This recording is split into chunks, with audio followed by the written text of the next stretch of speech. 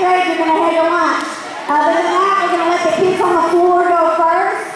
You guys up in the stands, stay sitting down.